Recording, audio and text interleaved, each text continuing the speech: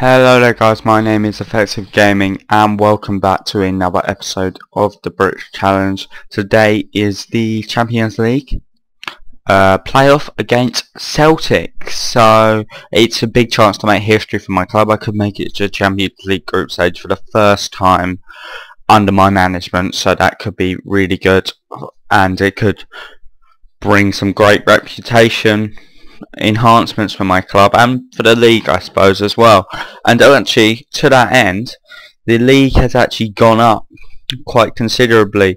From 133rd it's rose to 106 in the standings which is quite good. It's now near Series C1 and uh, it's above the first league in Ukraine. I don't know where the first league actually is but and um, it's above the first division in Denmark so yeah, it's going up, gradually up as a competition. So that's good. So yeah, they uh, Celtic lead 2-1 on aggregate after that 2-1 victory in the first leg. But we got a crucial away goal which could make all the difference. They're favourites for this leg.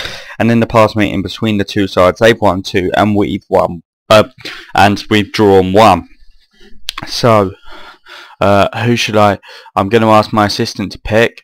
I'm going to play 5-2-3 anchor because I, I, think having three up front is important.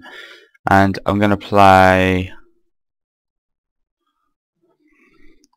Um, no, I'm just going to play this, but I'm going to have one more back in defence just to make sure no one scores. So let's just ask to pick again just in case. Cool. Uh, okay, so the lineup I'm going to go with is Lena in goal, Robert Wilson, Christopher Haggerty and Daniel Alfie in the centre back positions and then in left back Aaron Burns. In central defensive midfield Lee Lucas and Billy Joe Burns in right back. Um, then in centre mid uh, Philip Lowry takes the place and then up front, my attacking trio is Wes Fletcher, Cal Smith, and Daryl Ledwith. Let's just have a look and see how Ledwith's done so far. Um, he's played once and he scored one goal, but then in the um, in Europe he's played two times and he scored two goals. So, oh no, sorry, no, and he's made two substitute appearances. So, so he has sorry scored. He's played four times in total and scored zero goals, and he's but he has scored one goal in the league. So play him.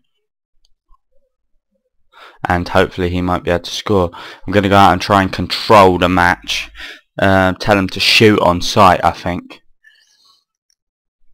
And hopefully I should have enough maybe. If I can get a goal then I'll go through. And they and we don't concede. If we concede we've got a lot of work to do um, issue instruction. No, I'm not going to tell them to do that. I'm just going to say calmly, we're huge underdogs. There's no pressure on you to succeed. Relax, but don't relax too much, basically.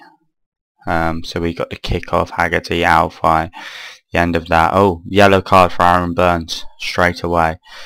Um, they're dominating us when we're trying to control the possession. That's always a good sign. Brilliant uh, 20 minutes in. So far nothing to say, but I know that means they're going to get it. Nichols up to Ledwith. No, Trotter's got it. Yeah, Elyounoussi got it. Forrest. Forrest with a run. Oh, what a save. Defoe's got to it. And Joe Burns forced to put the ball behind. In swings Forrest. Haggerty away. Only as far as Elyounoussi. Um, Forrest swings it back in back out to Elyounoussi, Ledley, Trotter, Pamick now, and there we are, ball's going to play. Is that the end of that piece of play? It is. So, no attack so far. Uh, and Aaron Burns is injured. So, Paul Dummett's coming on for Burns. And, um, so, not too great a start. Although, I suppose ride this ride the wave is the uh, phrase that we've got to think about here and we are dominating now slightly more so that's good. We're controlling the match as I wanted but but that means they're probably about to have an attack and they'll probably score 47 48 minutes in and that's the end of the first half. I'm gonna assertively say I expect to see a much better showing. And Naismith coming off. Hopefully Lawless can bring something into the game. Going attacking it's a risk it's a big risk. But hopefully it might be something it might pay off. Just maybe. So here we go we're dominating them on possession Gary Hooper's could just come on he'll probably score I think everyone's going to score um, and if we don't have an opportunity all game I'm going to be a bit disappointed and here we are it's Matthews Hammond uh, Adam Matthews running down the wing. Ledley. Oh, look, goal kick to Linfield. Is at the end of that piece of play. It is.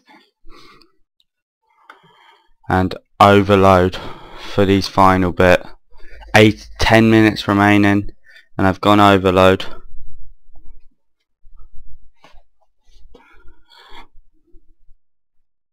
and it's uh, only just going through so seven minutes remaining and it's overload time and also shoot on sight Matthews, Forrest, Adam Matthews got a Hammond, Matthews if we could break up the play at all that would be great, Hooper, Matthews, oh we, the referee checks his watch and blows for full time, oh my god, full time. That simply put was not good, good enough. Okay, so we are in the Europa League. Uh, after we had 11 shots actually and we had more on target than them but nothing to shout about all game really. And that puts down a disappointing performance really actually. That was a really good disappointing performance. I would have banked for my players to have scored there. Scored scored. Yeah, I would have, um, yeah, the banked on them to score, but they didn't. But, oh well, we're playing in Europa League next season. That's the end of our Champions League adventure, and now we're just held tight for the uh, draw of the Europa League.